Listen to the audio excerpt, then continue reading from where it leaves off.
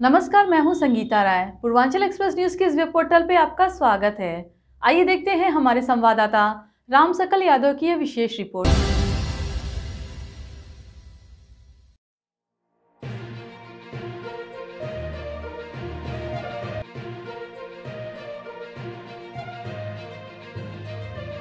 जनपद आजमगढ़ में online attendance के विरोध में बड़ी संख्या में परिषदीय विद्यालय के शिक्षक कुंवर सिंह उद्यान में पहुंचकर विरोध प्रदर्शन किए। इसके बाद मुख्यमंत्री को संबोधित, अपनी मांगों से संबंधित ज्ञापन जिला अधिकारी को सौंपा। शिक्षकों का कहना है कि सरकार जिस तरह से हम लोगों को ऑनलाइन अटेंडेंस के लिए बाध्य कर रही है, निश्चित रूप से दुखद है। यही कारण है कि हम लोग अपनी बात को सरकार तक पहुँचाना चाहते हैं। प्रदर्शन कर रहे शिक्षकों ने कहा कि हमारी चार मांगे हैं, जिन्हें सरकार पूरा कर दे। हम ऑनलाइन अटेंडेंस के विरोध में नहीं हैं। बता दें कि प्रदेश सरकार ने बेसिक शिक्षा परिषद द्वारा संचालित विद्यालयों में 8 जुलाई से शिक्षकों और कर्मचारियों के डिजिटल अटेंडेंस लगाने का निर्देश दिया है, जिसके विरोध में परिषदीय स्कूल के शिक्षक लगातार लामबद्ध रहे, जिसके चलते ऑनलाइन हाजिरी का परसेंटेज बहुत न्यूनतम रहा।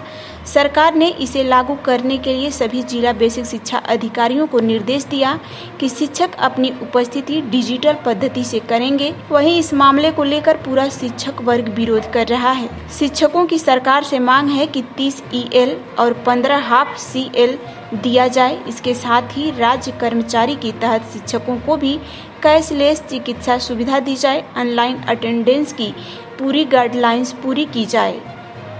इन चार मांगों को पूरी तरह सरकार पूरा कर दे। हम ऑनलाइन अटेंडेंस का सपोर्ट करने के लिए तैयार हैं।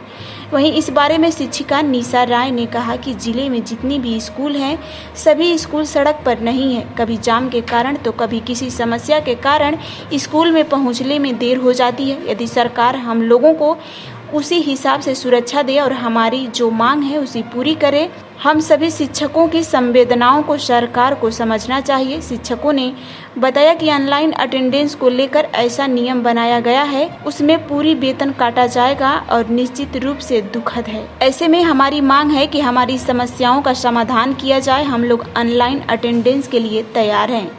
शिक्षकों ने बताया कि हम डिजिटल अटेंडेंस का विरोध नहीं कर रहे हैं, लेकिन जिस तरह से लागू किया जा रहा है, उसका विरोध कर रहे हैं। मौसम खराब में अपने बच्चों की तबीयत खराब होने की स्थिति में कैसे अटेंडेंस लगा पाएँगे? इसमें सुधार हो।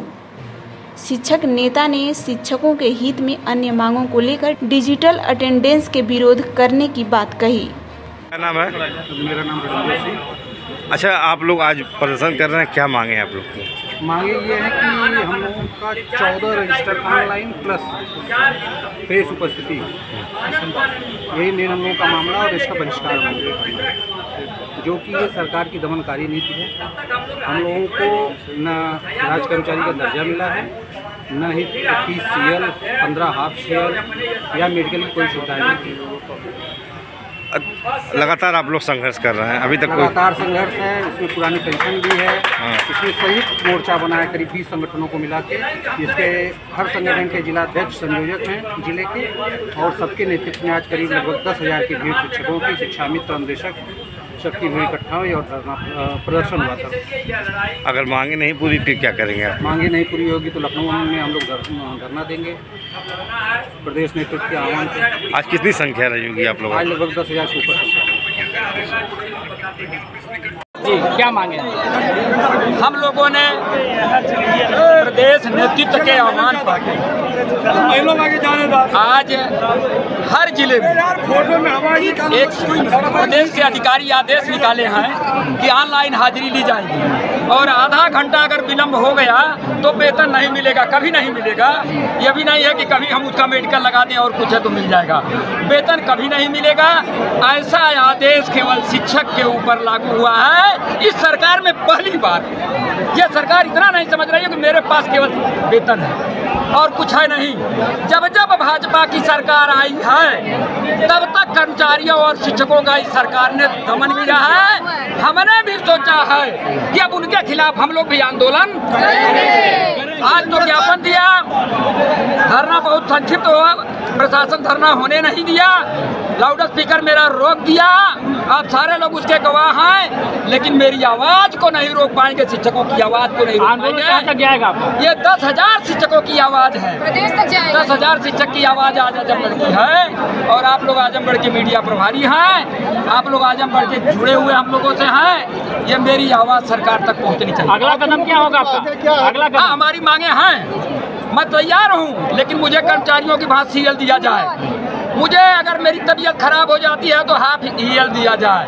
कोई एप्लीकेशन दे दिया तो उसको मान के कि हाँ इनकी कोई कैजुअलिटी हो गई कोई और बात स्वीकार किया जाए। ये सब इसमें नहीं है बहुत सरकार नहीं मांगती है तो क्या करेंगे? अगला कदम क्या आपका रहेगा ऐसा है इसके साथ हमारी कई मांगे हैं।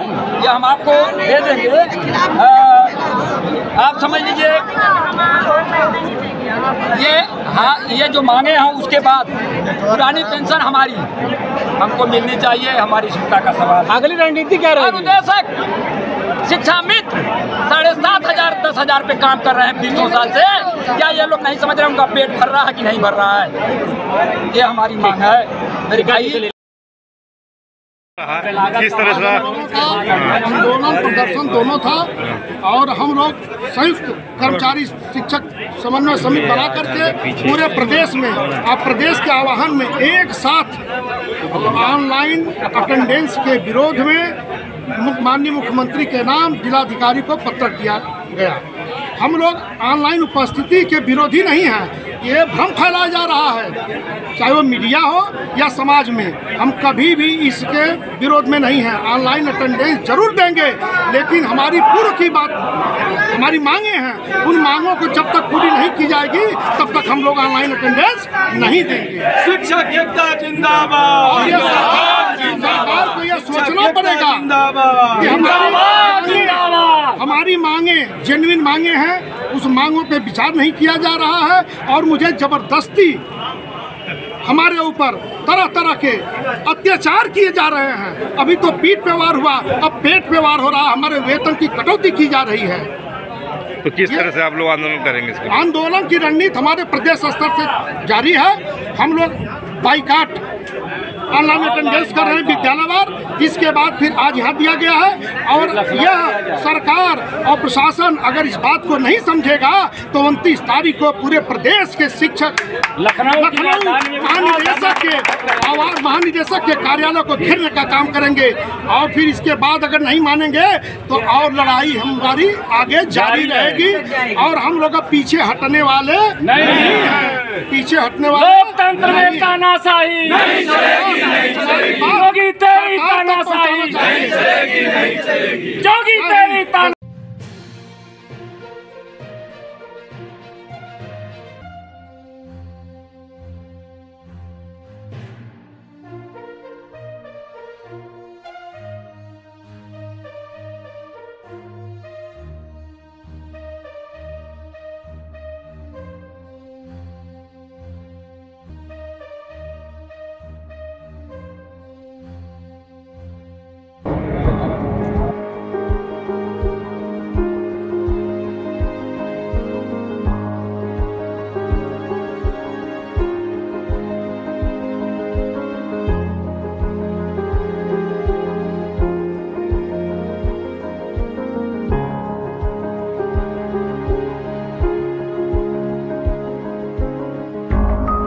अगर आपको हमारी खबर पसंद आई हो तो हमारे चैनल को लाइक, सब्सक्राइब और शेयर ज़रूर करिए।